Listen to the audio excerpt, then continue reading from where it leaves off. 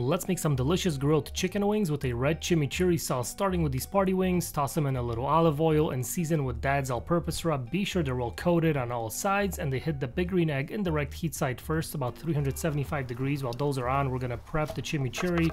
I like to go equal parts parsley and cilantro, chop all that up. We're gonna add some chopped up roasted red pepper, plenty of garlic, some fresh lemon juice, red wine vinegar, some crushed red pepper, paprika, more of my seasoning, more olive oil, mix all this together, get it to your desired consistency, and that chimmy was looking and smelling amazing. I'm gonna finish off the wings on the direct heat side first to give them some nice color and char, and when they are done, pull them off, toss them in that beautiful red chimmy, plate them up, and these are ready to go. And they were looking and smelling amazing. Turned out absolutely delicious. Now, are you team flats or team drums? Let me know in the comments. Try this recipe and let me know what you think.